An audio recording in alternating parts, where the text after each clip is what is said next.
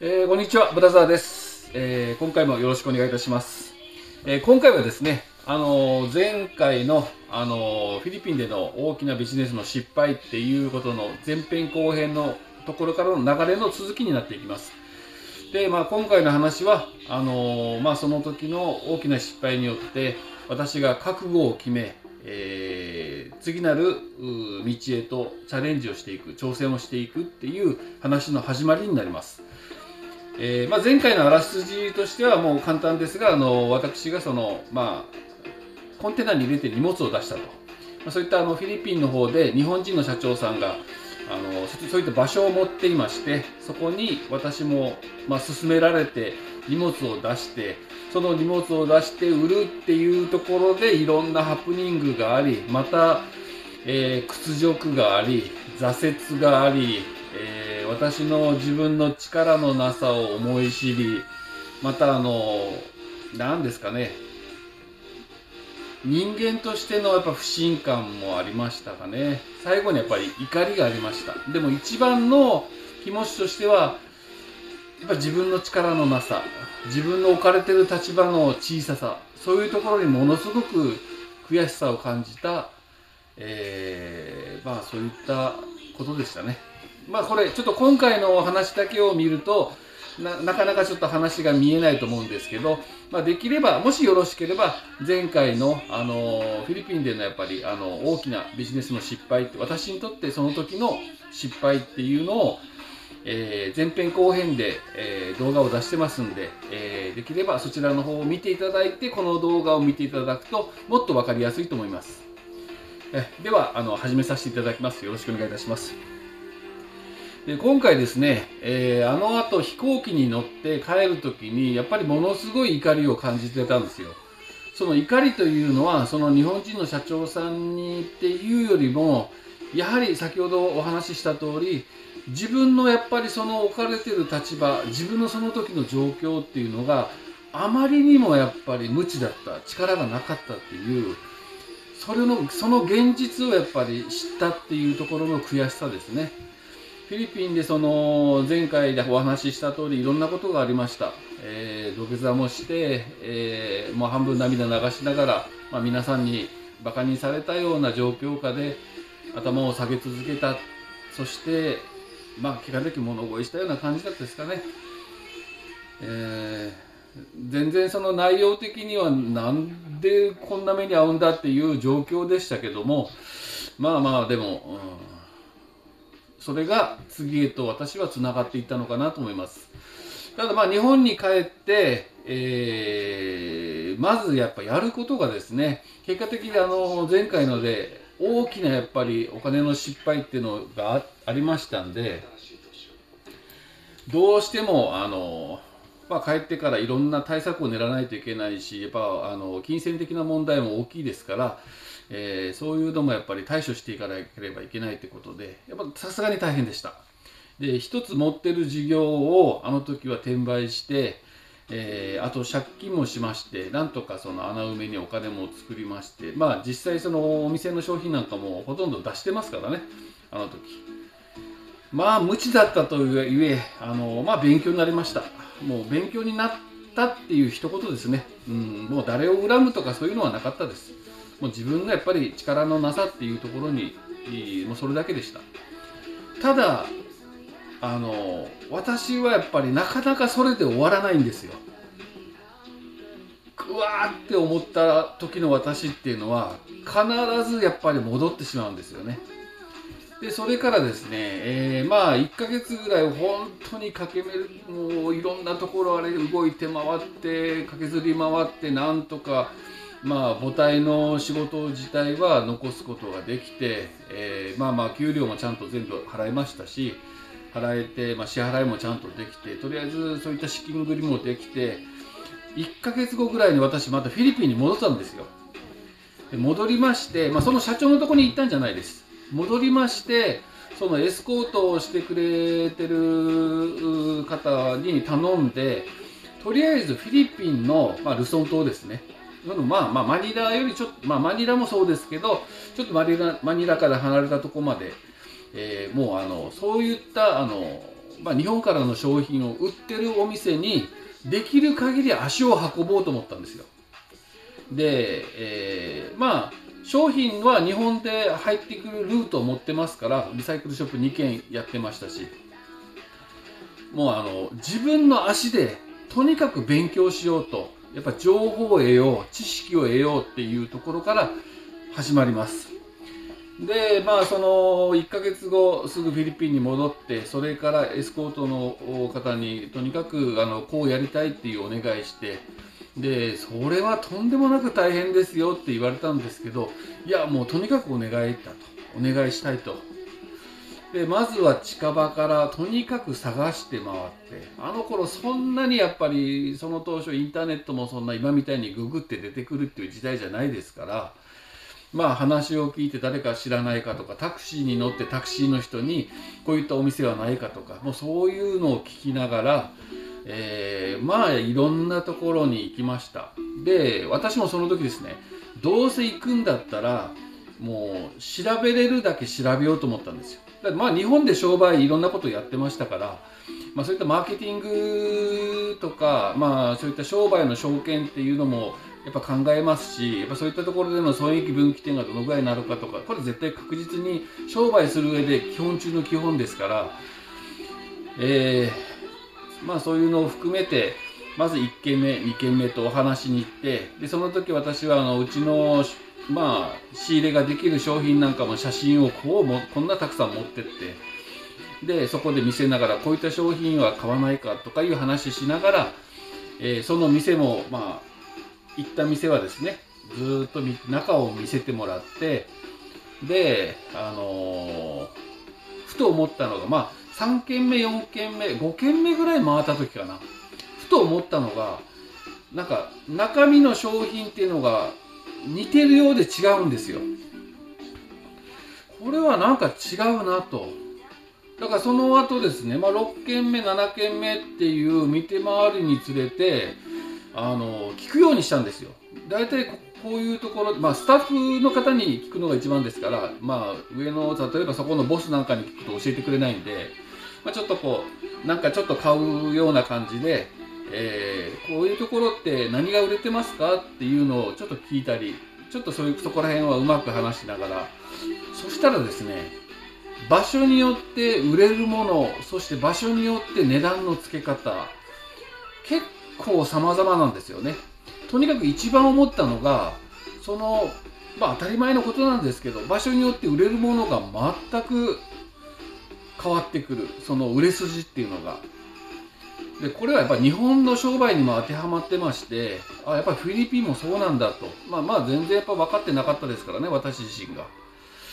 で、まあ、例えば簡単な話、もう日本では絶対分かりやすいんですけど、あの、まあ、フィリピンにもオフィス街ってあるんですけどねそういったオフィス街で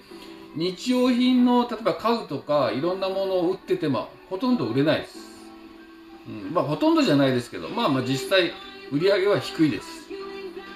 そういうところはやっぱ事務用品関係が飛ぶように売れます。その事務用品もあの、どれでもこれでもっていうわけじゃないです。フィリピンの方たちもそれなりに勉強してます。えー、こういった事務用品はちょっと古いやつねとか、これは、ああ、最近出たやつねとか、やっぱ分かってるんですよ。で、そういうのも勉強になってきて、で、ちょっと田舎の方になると、今度逆に事務用品なんか売れないです。やっぱり普通の日用品。そして、えー、例えばマンションが多いところで大きな家具は売れないです。フィリピンのマンションは狭いですから。でそういうのがだんだん、まあ、細かく分けるとたくさんいろいろあるんですけどずっとメモを取ってそれからいろんな店に相当行くことになるんですけどそうですねもう多分お店だけでも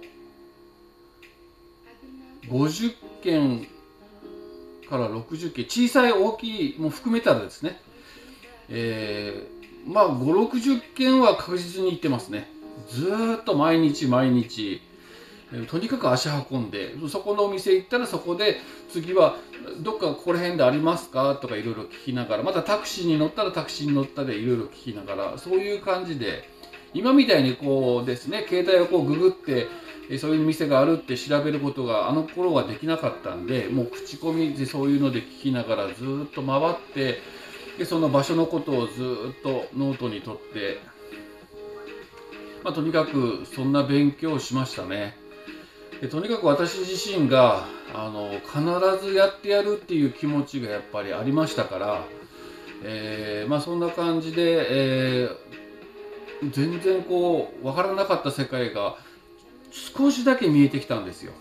まあそういう話してる間に例えばコンテナがどういう荷物がいくらで売れるっていう情報も入ってきますよね。そういうのを教えてくれる方もいましたし、で、あの、よく昔はですね、ABC でランク分けしてたんですよ。で、その ABC のランク分けするっていうのも私よくわからなかったんです、その頃は。で、どういった商品が A かな、B かな、C かな。でもみんな簡単に言うんですよね。A とか B とか C とか。なんだろうと思ってそんなやっぱ560軒の店を回りながら分かってきたのが実際 A とか B とか C っていうのは誰かが勝手に考えたことであって、まあ、こういうのが A じゃないかこういうのが B じゃないかみたいな感覚なんですよ。はっきりしたあのそういったこれが A ですよこれが B ですよっていうのはないんですよね。でそういうのもだんだん分かってきてただまあまあそれも一つの勉強ですからただこういうのが多かったら A に当てはまって A クラスに当てはまって金額がこのぐらいとか、まあ、そういうのもだんだん分かってきましたそれと同時に、えー、フィリピンでの、まあ、コンテナを税関から出す時の、まあ、ブローカーっているんですけどね、えー、そういったあの業者さんですよね。コンテナを出してくれる手続きをしてくれる業者さん。そういった話もいろんなところで、えー、結構教えていただくことができましてまあだんだんだんだん知識が増えていったんですよね。でなるほどってまあ全然知らない時とやっぱりそういう情報が入ってくる。自分が足運んでやっぱいろんなとこ行ってまあなんまあ少しやっぱいろんな方と親しくなりながら本当詳しく教えてる教えてくれる方もいましたしあの本当ありがたいお話でもうあの丁寧な方は1から10まで教えてくれる人もいました。であのやっぱこういうことに気をつけなさいねって言ってくれる方もいましたし逆に何しに来たんだって追い出されることも結構ありました。あのまあ、同業者っていう感じで見られてあのやっぱすごい勢いで怒られて出ていけっていうところも何件もありました。だからまあ様々いろんなとこがありましたけど、まあ、その中で様々ないろんないい方とも出会えて情報とかももらえるような感じになりましてで、えー、一旦日本に帰ったわけなんですよ。で日本に帰って私はあのその前回の、まあ、荷物を、まあ、私が土下座をして買っていただいた日本人の社長から必ず連絡が来るって思ってましたから日本の方である程度もう準備はしてたんですよ。その準備っていうのはもう一度そこに荷物を出すと。まあ前回の話を前編後編を聞いた方にははあって思う話でしょうけど私の頭の中ではまたまた多分コンテナを出すだろうと。いや出すしかないって思ってたんです。なんでかっていうとまだ道がなかったんですよ。それとその屈辱っていうのがやっぱあったんですよね。ただ案の定2ヶ月後ぐらいにその社長さんから連絡が来ました。でやっぱりあの私が買っていただいた荷物でお店を出したそうです。でその情報はもう入ってましたからでもうそろそろ荷物がないと。で、えー、作ってくれないかと。で私はそれが来るってもあの頭の中で描いてたんでそれで一旦フィリピンにと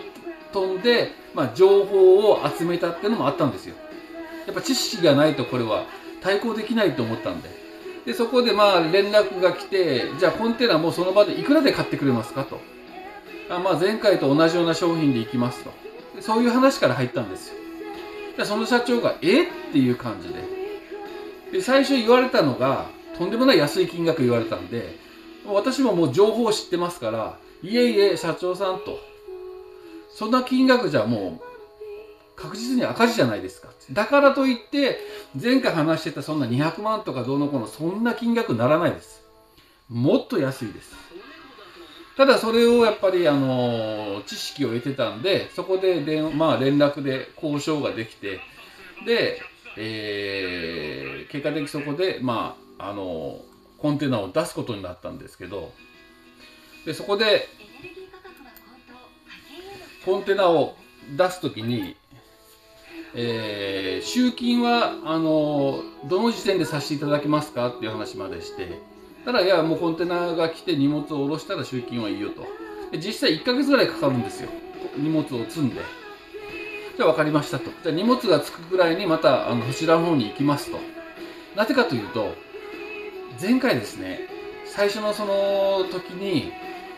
私が土下座してお金を、まあ、荷物を安くもう本当叩かれて、えー、まあ、結果的買っていただいたんですけどその時に結果的にあのお金をなかなかくれなかったんですよね。だこれは多分振り込みとかしたら無理だと思って、まあ、それとまだ最初の方なんで、まあ、荷物がつくぐらいに行きますと。で、その間に私は覚悟を決めたんです。ちょっと早かったんですけど、私の商売を全部閉めました。なぜかというと、自分自身に逃げ場を作らないようにしたんです。それと、えー、日本での、まあ、従業員の方々に、えー、迷惑をかけることになってはいけないと思ってなんせ知らない世界の挑戦ですから後々他のビジネスもしながらそこのビジネスの結果的に逃げ場があったら結果的にそこにこう集中できなくなるんでそれとそういった自分が持ってるいくつかのビジネスのお金をつまんで新しいのにつぎ込んでしまう。でもなんか中途半端っていうのが私経験上あったんですよもともと。なのでそうなってくると自然といつかみんなに迷惑をかけるって思ったんであの自分が選んだ道ですから結果的やっぱ自分一人が苦しむんだったらいいんですけどそれを周りに影響を与えてしまうっていうのはそれこそ私にとって一番辛いことですから一旦もうその間に全部の仕事を閉めるって言っても閉めたわけじゃなくてうちのやっぱりその店長とかマネージャーとかまああの会社出たら専務とかしてもらってた方に退職金代わりにもみんなあげたんですよ。それぞれに。もうお金そんな退職金とかもなかったんで。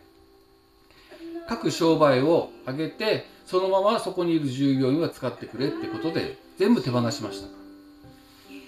でそうすると私の逃げ場がもうないじゃないですか。逃げ場がなければ覚悟を決めるしかない自分を追い込むしかないって思ってまあ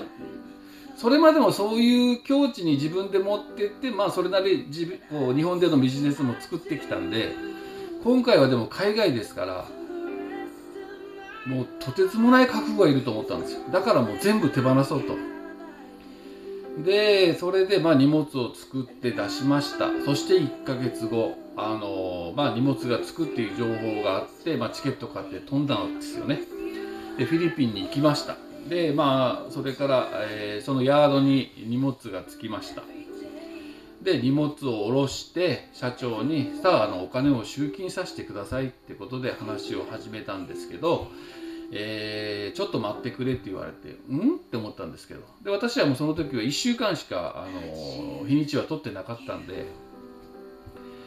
で社長のその店も見たんですけどもちょっと小さな店でまあ私はその前に一回その社長には言わないでフィリピンに来て、まあ、50軒60軒の店を見て回ってますからでいろんな知識もあの、まあ、多少ですけど得てますから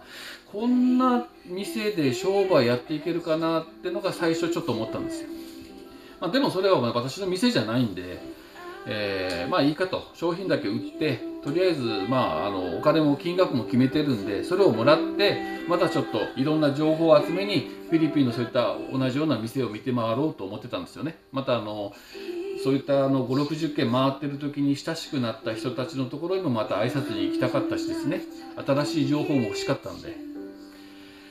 そしたらお金くれないんですよ。でもうずっと付きまとわないと仕方ないんですよね。で店にこう商品も展示してもう仕方ないから私も手伝ったんですよね。ずっと手伝ってで掃除して。でまあ社長はなかなか来ないんですよね店にも。でそこ任せ任されてる女の子たちがいてスタッフが。でびっくりしたのがあの朝私もオープンの時間に行くんですけどそこからはあって思うような状況が始まったんですよ。私もその頃はまだそういったちょっともう大きめになってくる仕事に対してはまだ不慣れだったんでん？っていうような感覚ですよね、まあ、従業員もそこに56人ぐらいいましたかね。そこからが私のまた